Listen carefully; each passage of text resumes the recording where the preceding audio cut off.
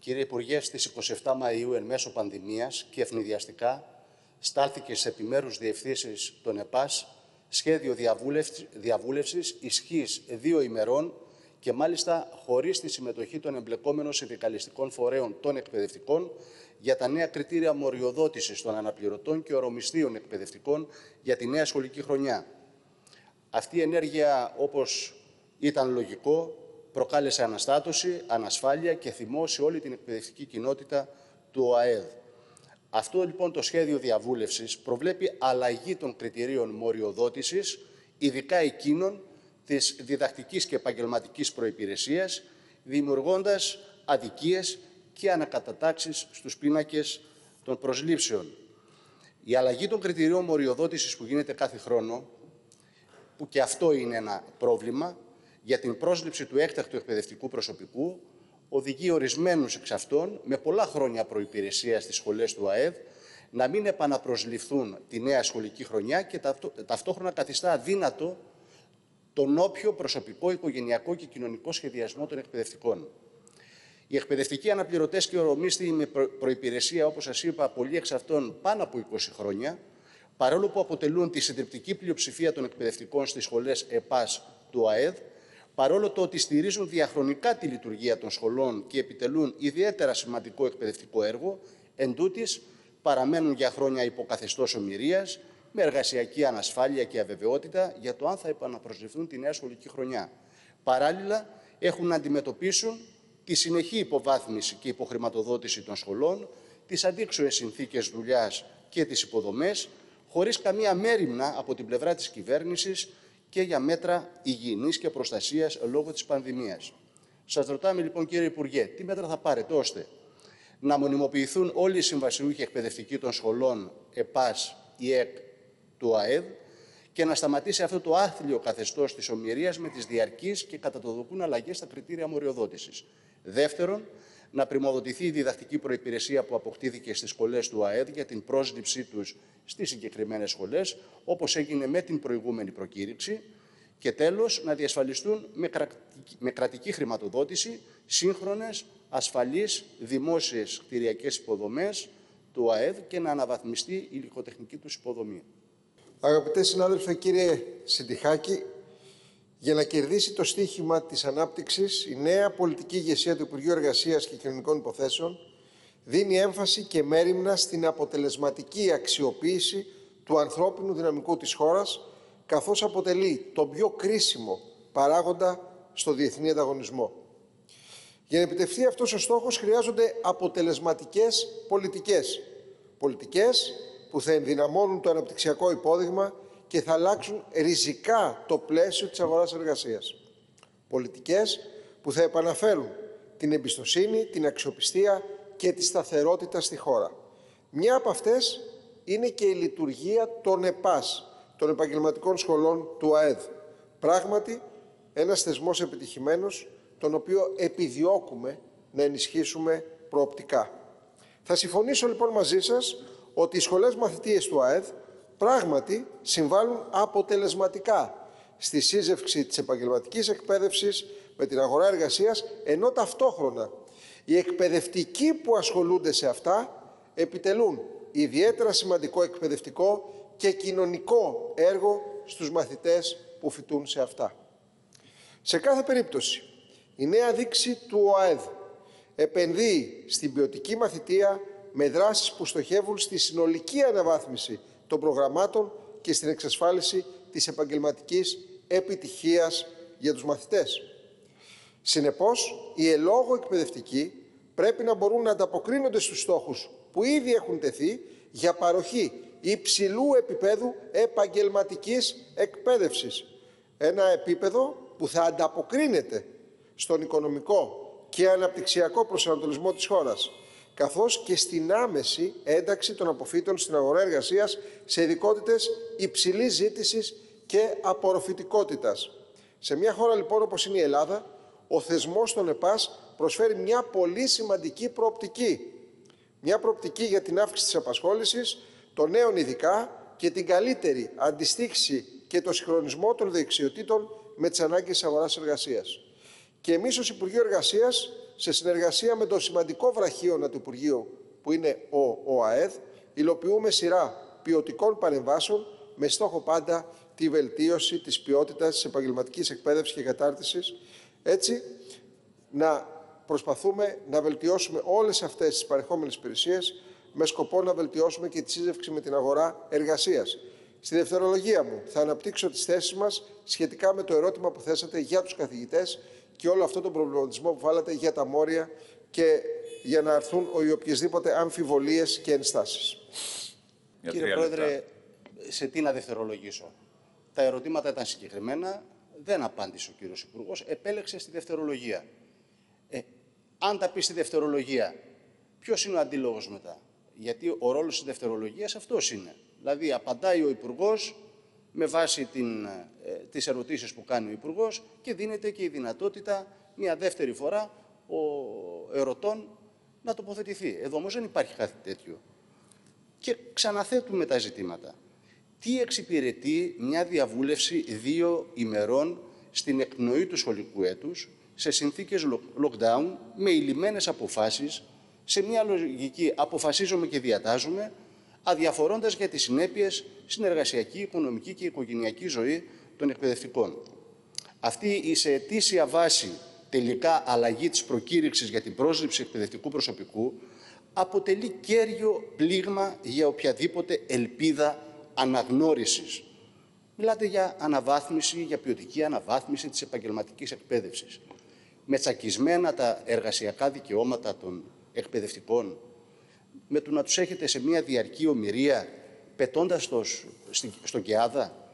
Δηλαδή, μετά από 20, ακόμα και 25 χρόνια προϋπηρεσίας και σε κατάσταση διαρκούς ομοιρίας, αντί να τους μονιμοποιήσετε, όπως λέτε εσείς, για να αναβαθμίσετε την επαγγελματική εκπαίδευση, με ενισχυμένη πρημοδότηση της προϋπηρεσίας που αποκτήθηκε στις σχολές, εσείς τους δείχνετε την πόρτα της εξόδου. Τους βάζετε δηλαδή σε μια νέα δοκιμασία με την αγωνία ποια θα είναι τα κριτήρια μοριοδότησης και αν θα επαναπροσληφθούν ή όχι. Το κάνατε και παλιότερα. Τους βάζατε να συγκεντρώνουν συνεχώς πιστοποιήσεις, να τρέχουν να αποκτήσουν την παιδαγωγική επάρκεια, τη γνωστή ασπέτε και άλλες πιστοποιήσεις, να ξεπαραδιάζονται οι άνθρωποι με τις όποιες οικονομικές δυσκολίες αντιμετωπίζουν όλοι σήμερα, παιδιά να σπουδάσουν, χρέη, δεή, δάνεια κλπ. κλπ. Και τώρα τους λέτε ότι σας αναγνωρίζουμε, ότι, και τώρα τους λέτε ότι δεν σας αναγνωρίζουμε τη διδακτική προϋπηρεσία, επί της ουσίας. Διότι ακριβώς αυτό γίνεται με τη νέα μοριοδότηση. Εξισώνει τη διδακτική προϋπηρεσία εντός και εκτός ΟΑΕΔ, που σημαίνει ότι μπορεί κάποιος να έχει διδακτική υπηρεσία στον ΟΑΕΔ 25 χρόνια και να μείνει εκτός και κάποιος άλλος που έχει μόνο επαγγελματική προϋπηρεσία και ελάχιστη καθόλου διδακτική προϋπηρεσία να έχει προτεραιότητα στην πρόσληψη. Ως ελάχιστη αναγνώριση των κόπων και των υπηρεσιών τους, στη φάση αυτή πρέπει να πρημοδοτηθούν οι εκπαιδευτικοί με διδακτική προϋπηρεσία στις ΕΠΑΣ του ΑΕΔ, οι οποίοι πολλοί εξ αυτών, όπως σας είπα, είναι και πτυχιούχοι παιδαγωγικής επάρκειας και η όποια αναβάθμιση των προσόντων των εκπαιδευτικών να γίνεται με ευθύνη του κράτους και με σχετικό κονδύλι. Σε κάθε περίπτωση όμως, για να τελειώνει αυτό το παράλογο, άνισο και εξοντοτικό καθεστώς των συμβασιούχων και ορομιστίων, το δίκαιο, αναγκαίο και ρεαλιστικό είναι να μονιμοποιηθούν επιτέλους αυτοί οι άνθρωποι και μάλιστα όταν αποτελούν, προσέξτε, το 80% του εκπαιδευτικού προσωπικού των σχολών αυτών. Το 80% με βάση τα στοιχεία που δίνουν οι συνδικαλιστικές οργανώσεις.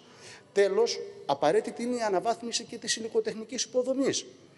Πώς είναι δυνατόν να λέτε για ποιότητα, για αναβάθμιση της επαγγελματικής εκπαίδευσης όταν η υλικοτεχνική υποδομή είναι σε άθλια κατάσταση; Οι εκπαιδευτικοί αναλαμβάνουν να παίξουν το ρόλο της καθαρίστριας, του οικοδόμου, του τεχνικού, του μπογιατζή. Αυτά συμβαίνουν στις σχολές του, του, του ΑΕΟ.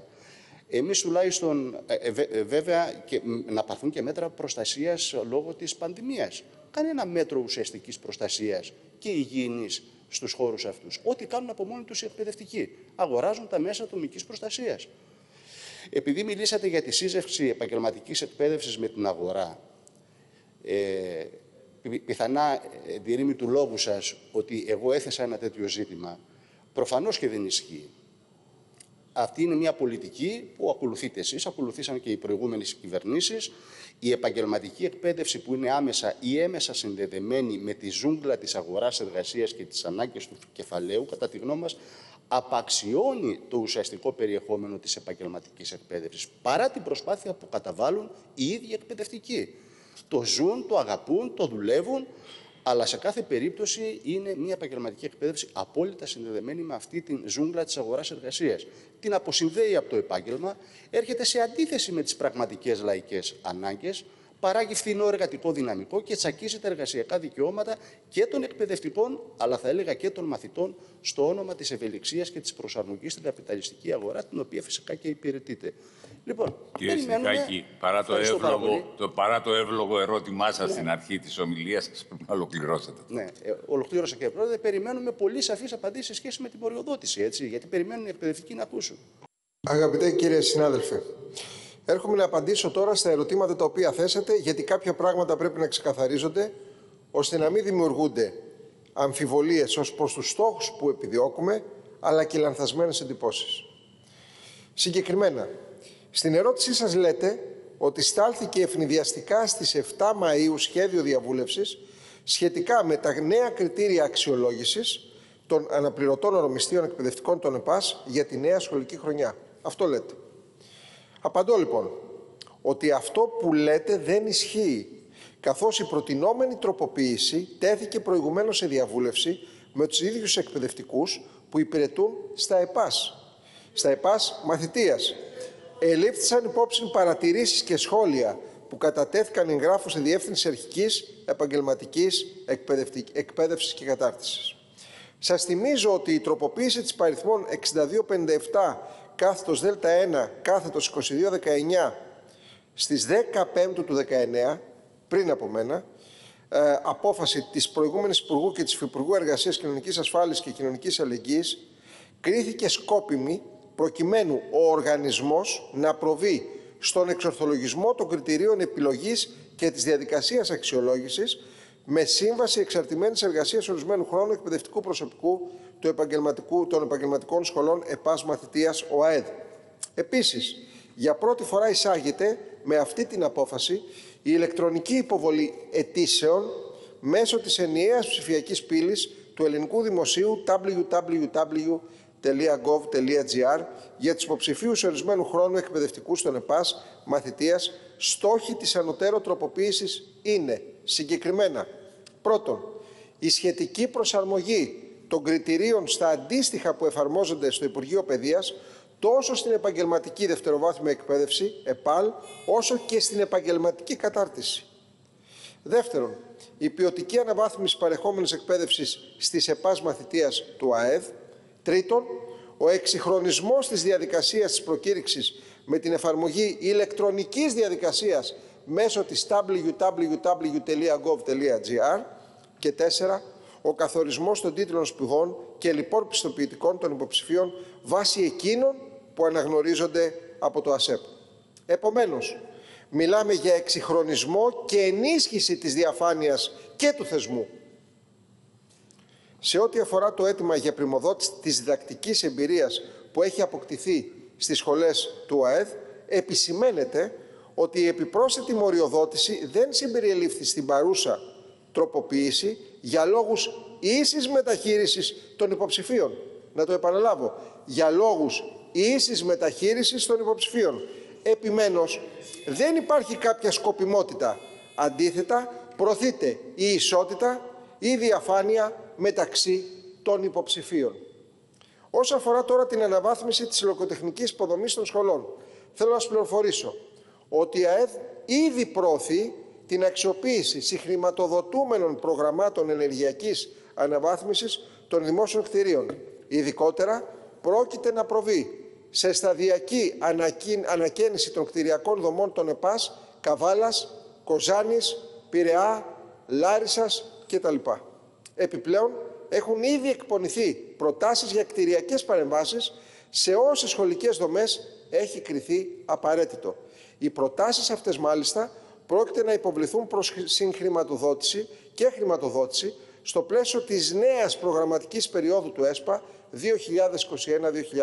2021-2027. Τέλος, ο οργανισμός έχει τηθεί και αναμένει τη συγχρηματοδότηση από το ΕΠΑΝΑΔ δράσεων που έχουν ως στόχο την αναβάθμιση και βελτίωση του διοικητικού συστήματος μαθητείας της ΕΠΑ, του διοικού συστήματος μαθητείας στις ΕΠΑΣ ΟΑΕΔ και ειδικότερα τον εξυγχρονισμό μέρους των εργαστηρίων και των μέσων διδασκαλίας των ΕΠΑΣ με στόχο την παροχή ποιοτικότερης εκπαίδευσης στους μαθητευόμενους μέσα της αγοράς εξοπλισμού και μέσων διδασκαλίας για τα εργαστήρια των σχολών. Ευχαριστώ πολύ. Εννοείται ότι και θα εσείς θα έχετε... Λοιπόν, δεν, δεν, δεν, δεν αναφέρουμε για τα, για τα λεγόμενά σας ως προς την ουσία της ερώτησης, ο καθένας κρίνει. Εγώ θέλω να πω το εξής ότι ε, η διαδικασία του κοινωνικού ελέγχου και οι κανόνες που προβλέπει ο κανονισμός της Βουλής είναι πολύ συγκεκριμένος. Που σημαίνει τι, ότι εάν ο, ακόμα και ο ερωτώμενος, αλλά στην προκειμένη περίπτωση πρόκειψε με τον Υπουργό, να μην απαντάει στην πρωτολογία και να επιλέγει τη δευτερολογία, θέτει ένα σοβαρό ζήτημα. Που σημαίνει ότι ακυρώνει στην πράξη τον κοινοβουλευτικό έλεγχο, τουλάχιστον έτσι όπως εσείς τον έχετε νοήσει. Έτσι. Άρα λοιπόν, σας παρακαλώ πάρα πολύ να τεθεί ζήτημα, διότι εάν ξανασυμβεί αυτό το πράγμα, τότε θα λάβουμε και εμείς τα μέτρα μας. Δηλαδή δεν μπορώ να δεχτώ να απαντάει επί της ουσίας στη δευτερολογία. Έτσι.